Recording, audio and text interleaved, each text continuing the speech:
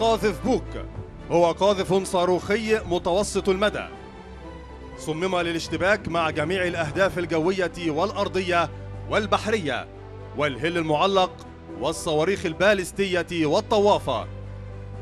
ويستطيع كشف وتتبع عدد أربعة أهداف وإطلاق حتى عدد ثمانية عناصر صاروخية في نفس التوقيت بمساعدة قاذف التحميل.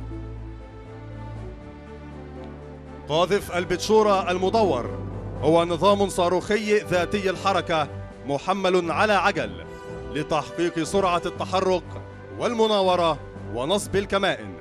ويمكنه التعامل مع الأهداف الجوية والأرضية والبحرية ومزود بعدد اثنين شعاع لإطلاق عدد اثنين صاروخ بفاصل خمسة ثانية بين الأول والثاني. المظلات. الناقلة الأولى محملة على أرضيتين إسقاط ثقيل تم تجهيزها بقاذفي أهرام رباعي مطور محمل على مركبة تي جي إل بمدى يصل 3000 متر. ومعدل إطلاق اثنين صاروخ في الدقيقة الواحدة ويزيد من قدرة قوات المظلات على العمل ضد العناصر المدرعة والميكانيكية للعدو. ويتراوح وزن الحمولات المسقطة بأرضيات الإسقاط الثقيل من 2200 رطل حتى 35 ألف رطل. الناقلة الثانية محمل عليها نماذج لعبوات الإمداد المتوسط A22 وتستخدم لإمداد القوات المسقطة بالحمولات المرافقة من الأسلحة والاحتياجات الإدارية بما يمكن القوات من مواصلة أعمال القتال لفترات زمنية أطول. ويتراوح وزن الحمولات المسقطة من 500 إلى 2200 رطل. المعدة دلتا سكايبر أحدث معدات الطيران الشراعي المستخدمة بقوات المظلات لتنفيذ المهام ذات الطبيعة الخاصة ويصل مدى العمل للمعدة دلتا إلى 400 كيلو متر قوات الصاعقة قاطرة الغواص طراز DPD من أحدث وسائل التسرب البحري التي تستخدمها قوات الصاعقة للوصول المخفي والمستور لأهدافها وتنفيذ مهامها القتالية تحت الماء.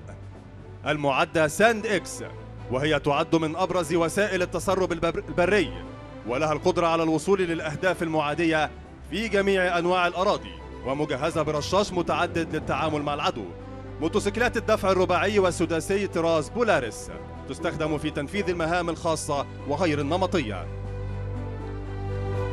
القاذف الصاروخي المتعدد RL عيار 107 ملي المطور بأيد مصرية والمحمل على مركبة تويوتا لاند كروزر. هو قوة النيران الرئيسية لقوات الصاعقة في تنفيذ مهامها القتالية. يتميز بخفة الحركة والقدرة النيرانية العالية.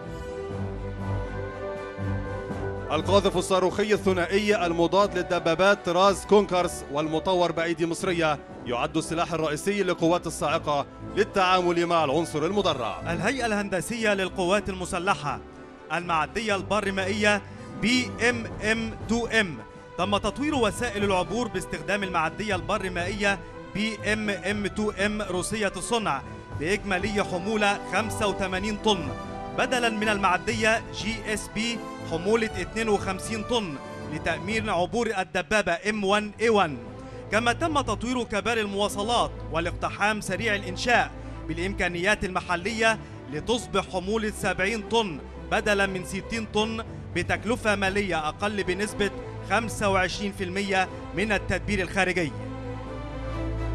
آلة جرف كوماتسو D 275 تم تطوير المعدات الهندسية لصالح أعمال التأمين الهندسي باستخدام آلة الجرف الكوماتسو دي 275 ياباني الصنع حيث يمكن إزالة الأتربة بطاقة 600 متر مكعب على الساعة بدلا من 110 متر مكعب على الساعة بالإضافة إلى تدريع آلات الجرف والحفارات بتكلفة مالية أقل بنسبة 75% من التدبير الخارجي. نقل أتربة dumper كاتربيلر. تم تحديث وسائل نقل الأتربة بال dumper كاتربيلر أمريكي الصنع. والمركبات المرسيدس المجهزة قلاب للعمل بجميع أنواع الأراضي بقدرات تصل إلى 24 متر مكعب بدلا من 10 إلى 15 متر مكعب مع تنفيذ أعمال الإصلاح ورفع الكفاءة بالإمكانيات المحلية دون الاعتماد على التوكيلات الأجنبية.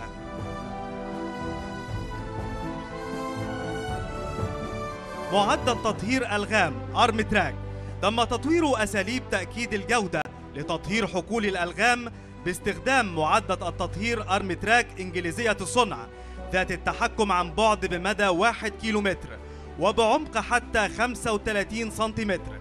كما تم تصنيع الخلايا الثاقبة لصالح أعمال التجهيز الهندسي والتخلص من القنابل المدفونة بالإمكانيات الذاتية بتكلفة مالية أقل بنسبة 60% من التدبير الخارجي. مركبة بعثرة ألغام فهد.